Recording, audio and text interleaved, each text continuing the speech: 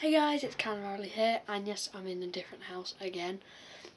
Um, but as you've already guessed by the title, it is a review on the Flying Scotsman. So, the Flying Scotsman, if you don't know, if, and you should know, um, is the most famous steam locomotive in the world. It did, it was a, well, it was presumably the first locomotive to go, or steam locomotive to go 100 miles an hour. Um, but there's another claim of City of Truro doing it first. So, so yeah, but there, but there's evidence in Flying Scotsman's history stuff. Anyway, so this is an old model um, from the 1980s. So it is like these two wheels here. I do have them, but one the front wheels are gone, so I can't really use them. Um, as you can see, the nameplate there, it's very hard to read, but it does say Flying Scotsman. Um, the livery is really nice. I do love this apple green, and with the uh, white stripes on it as well. It's very good. Uh. It that's very nice. Um, the lettering on the cab, uh, I think, has been printed on. Um, that's very nice as well. Four four seven two. The linkage is good, but um, on this bit here, this is missing like a little bit of valve or valve gear.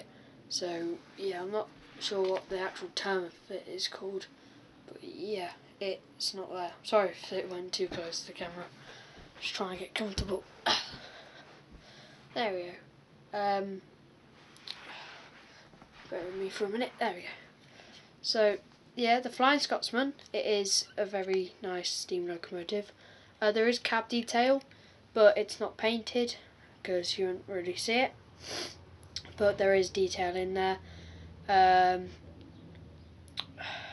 it's just I've had this for quite a while now, and let me tell you, when I ran it last night, it ran like a dream.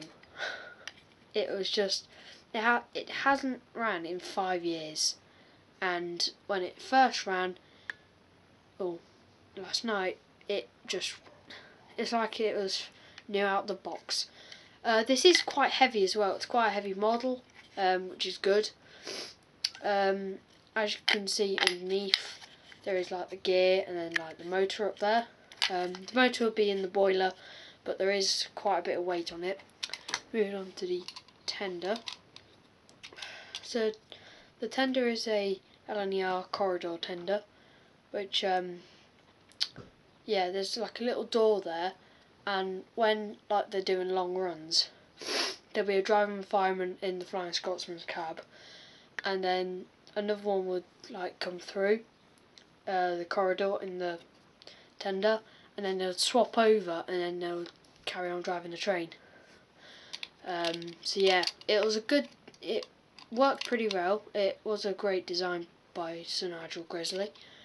Um, as you can see, there is a door there. The coal is uh, very nice.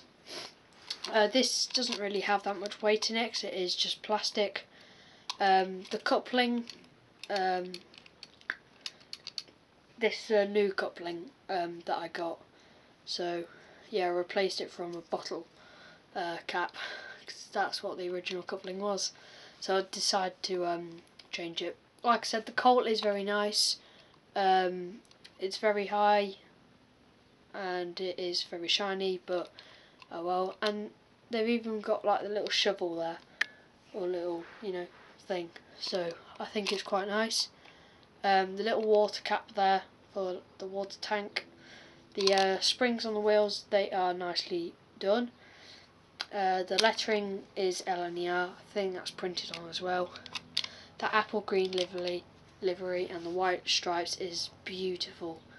Um, unfortunately, this doesn't have buffers either, and they aren't sprung. but um, yeah. So, oh yeah, let's go back to the engine. Um, the back bogie does move and um, go up and down. The uh, detail on that is quite nice. Um, there's a little brass like safety valve up there, and the dome is like what the Flying Scotsman did have. Um, the Flying Scotsman now isn't actually in this livery; it's in the BR green livery, the dark livery.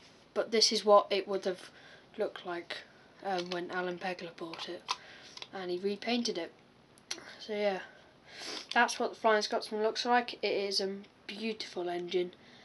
Um, I recommend you get a model of the Flying Scotsman because it is just exquisite. It's just words can't describe it at all. It's just brilliant.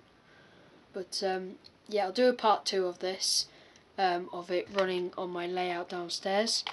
But um, yeah, it is a very nice locomotive. I do recommend you getting one. Uh, I think Hornby still do them.